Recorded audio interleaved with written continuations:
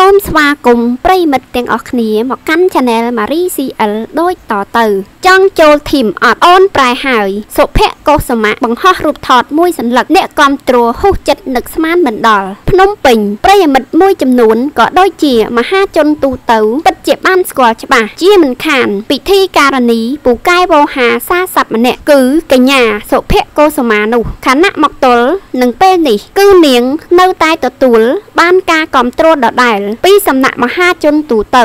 ដោយតែងតែលេចមុខក្នុងកម្មវិធីផ្សេងផ្សេងមិនដែលដាច់ឡើយគូបញ្ជាក់ផងដែរថាកញ្ញាសុភ័ក្រកុសមៈមិនត្រឹមតែពូកែនិយាយចាក់ទឹកមិនលិចទេថែមទាំងពូកែសម្ដែងលេងទឹកមុខទៀតផងតាមរយៈការបង្ហោះវីដេអូសំណើចខ្លះៗនៅក្នុង Facebook របស់ខ្លួន កាលពីពេលកន្លងមកហើយក៏ទទួលបានការពេញចិត្តនិងស្ញែកសរសើរគ្រប់គ្រប់គ្នា ហើយមានវីដេអូខ្លះមើលហើយមើលទៀតនៅតែមិនធុញនៅតែមិនធុញជាមួយកាយវិការលេងទឹកមុខរបស់ពិធីការនីរូបនេះទូយ៉ាងកាលពីពេលថ្មីថ្មីនេះតារាចម្រៀងស្រីរូបនេះបានបង្ហោះរូបភាពមួយសន្លឹកនិងធ្វើឲ្យមហាជននាំគ្នាហ៊ូចិត្តនឹកស្មានមិនដល់ជាខ្លាំងខណៈអ្នកខ្លះលើកឡើងថារូបភាពមួយសន្លឹកនោះហាក់ធ្វើឲ្យតារាចម្រៀងរ៉េបគឺលោកវណ្ដាអែបគៀនតែម្ដង